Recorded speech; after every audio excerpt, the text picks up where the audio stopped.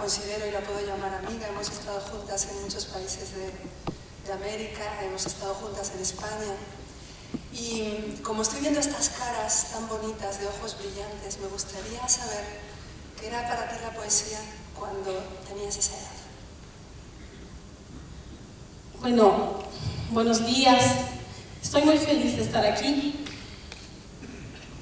En realidad yo hasta ahora no sé exactamente qué es la poesía, pero cuando yo tenía la edad de ustedes, eh, la poesía, y yo entraba a la poesía, leía la poesía cuando quería estar sola y me gustaba mucho la musicalidad.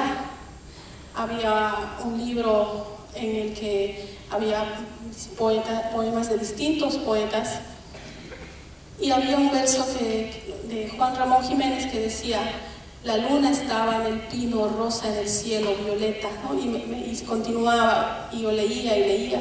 Entonces, eh, para mí es un espacio eh, muy personal la poesía, es un espacio para que, te responde, es como entrar a un lugar y pensar, tratar de entender, ¿no?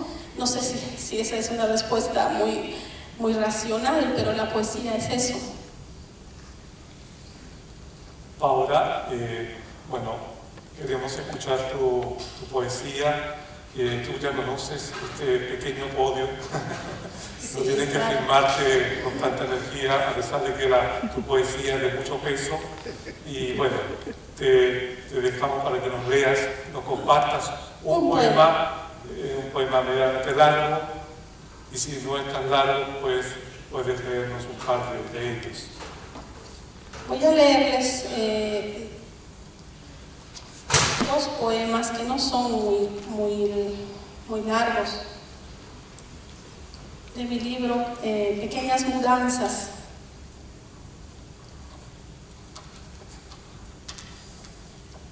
Uno se llama Pensando en Anastasia. Hablo de un tiempo rebobinado como hilillo de, de araña entre los dedos. La melodía nos llegaba al amanecer, nos recordaba el agua que fluía eterna en el pilón donde nadaban los patos, mientras la muerte paseaba por el paladar de la abuela desconocida que íbamos a ver el extravío había comenzado cuando olvidó su nombre y guardó su dinero dentro de un libro de la biblioteca. Ella que conjeturaba fantasmas, yo que los encontraba en las manchas de las goteras, ella que respiraba moscas por la boca. Los goznes habían sucumbido y la herrumbre alcanzó el cielo. La búsqueda de algo perdido que no se sabía qué había hecho que toda la casa se vaciara al patio. Corríamos por encima de las sábanas, tratábamos de salvar nuestros pies. Y uno cortito.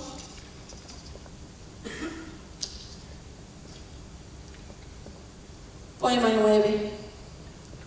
Rumiar la palabra, ahogarse del silencio en tiempo de aridez.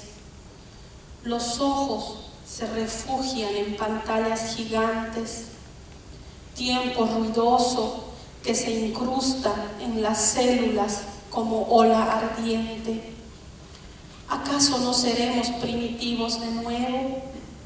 ¿Acaso ya no descubriremos el fuego. Gracias. Gracias,